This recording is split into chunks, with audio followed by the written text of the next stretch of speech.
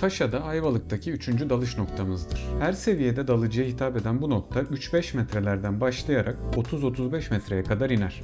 Adanın neredeyse %80'i 30 metre civarında gezilebilecek taşlığa sahiptir. Sığ bölümlerinde ahtapot ve küçük balıklara, derinlerde ise eşkina, müren, böcek ve renkli süngerlere rastlanılabilir. Kumda çok iyi kamufle olmuş bir kaya balığına rastlıyoruz.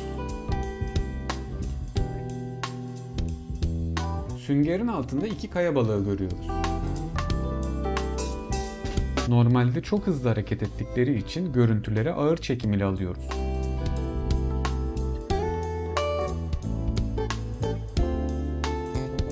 Gorgon olarak da adlandırılan yumuşak mercan.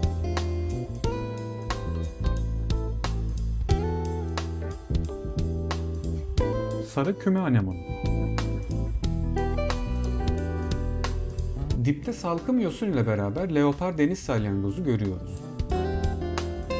Genelde taş süngerin üstünde görülürler.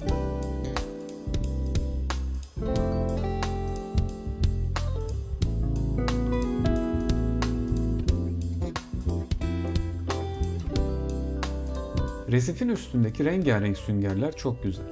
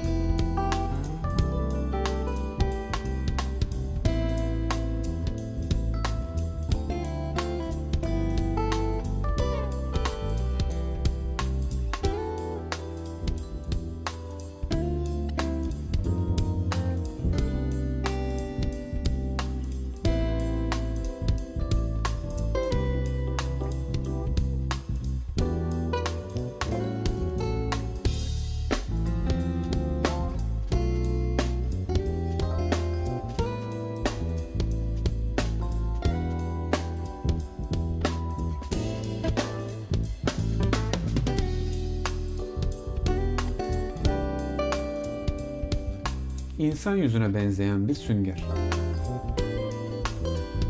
Süngerlerin üstünde kopmuş bir av takımı görülüyor. Bu gibi takımlar ve ağlar hayalet avcılığa neden olmaktadır.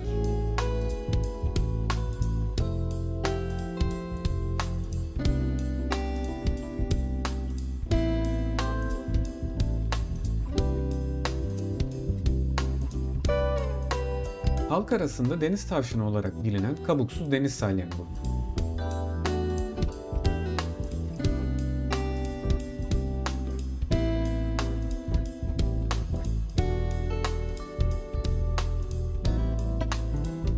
Bu dalışımızda çok sayıda sarı küme anemonuna denk geliyoruz.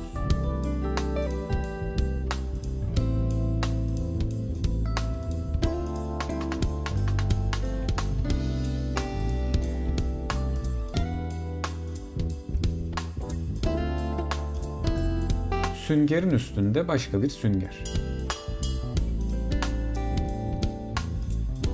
Maalesef ölü bir pina. Artık sadece Marmara Denizi'nde canlı pinaya rastlandığı bildirilmektedir.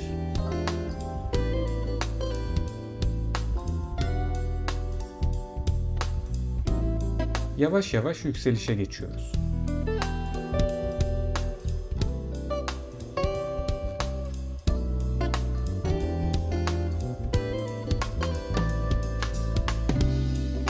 Dalışımızı sonlandırırken dipte kayaların arasında bir iskorpite denk geliyoruz. Bir sonraki dalışta görüşmek üzere.